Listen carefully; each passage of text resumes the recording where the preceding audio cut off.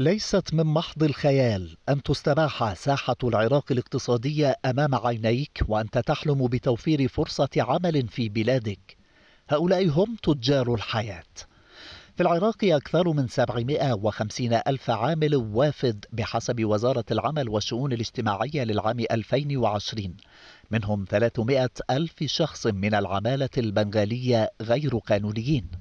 العدد الضخم الذي أزهق فرص عمل للعراقيين في سبيل إشباع الجيوب تعدى أيضا على حقوق الإنسانية والكرامة للعمال الوافدين بنسبة كبيرة منهم سيما غير القانونيين ما جعل بعض أرباب العمل من عراقيين يهينون.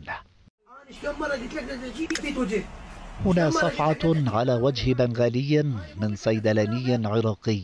صفعة للإنسانية والكرامة. في عراق جعله أمثال هذا الشخص وجها آخر يرسم صورة كارثية عن صورة العراق الحقيقي في احتضان العمال من كل بقاع الدنيا وإكرامهم بالمعاملة والتقدير. أنا مو مرتاح لا تاكل اكل العراقي ما ياكله العراقي ما يأكل هذا الأكل. غياب الرقابة على قطاع العمل عموما وخفايا العمالة الوافدة واستغلالهم أبشع استغلال. فجره هذا المقطع الذي نشر عاصفة من الاستياء.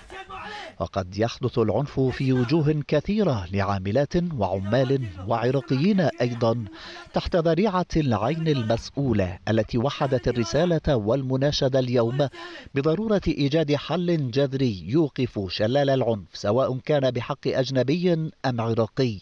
بعد أن باتت سطوة الطامعين في المتاجرة بنفوس البشر سلعة ترفع أسهم شريعة الغاب واستعباد الرقاب. وهذه ليست مبالغة عندما تختبئ القصص في المستور وترتفع أرقام الوافدين دون ضبط أو محظور.